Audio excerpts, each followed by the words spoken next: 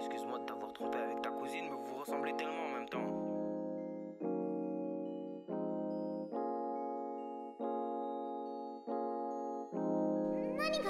I love you, LHB. Un chinois m'a niqué parce que je l'ai imité.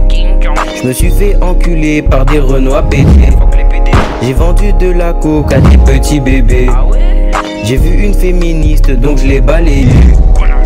Je vais l'emmener au resto, mais je ne vais pas payer. Et si ça lui plaît pas, bah je vais la tabasser. J'étais en Ferrari et j'ai vu une mémé.